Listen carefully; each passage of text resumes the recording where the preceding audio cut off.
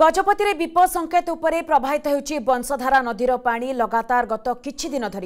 वर्षा सारा राज्यले लागिरहेको जो वंशधारा नदी र उपमुण्डले प्रबल वर्षा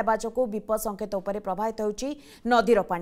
आज सकाल आठटा समयले जिरो लेभल एकावन मिटर रहे चौवन दशमिक एक शून्य मिटरे विप सङ्केत उप प्रवाहित हुन्छ नदी र पा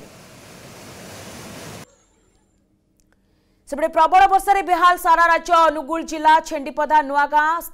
ରାସ୍ତା ଭଟପାଳ ଗାଁ ନିକଟରେ ଥିବା ଆଉଁଳି ନଦୀ ପୋଲ କଡ଼ରେ ବର୍ତ୍ତମାନ ଘାଇ ସୃଷ୍ଟି ହୋଇଛି ଛେଣ୍ଡିପଦା ଅଞ୍ଚଳରେ ବିଭିନ୍ନ ଗାଁରେ ଘର ମଧ୍ୟ ଭାଙ୍ଗିଯାଇଛି ସେହିଭଳି କଣିହାଁ ବ୍ଲକ ବଡ଼ଗୁଣ୍ଡୁରି ବଇଣ୍ଡା ରାସ୍ତାରେ ପୋଲ ଉପରେ ତିନି ଫୁଟ ଉଚ୍ଚର ପାଣି ଚାଲୁଛି ଫଳରେ ଯାତାୟାତ ମଧ୍ୟ ଠପ୍ ହୋଇଯାଇଛି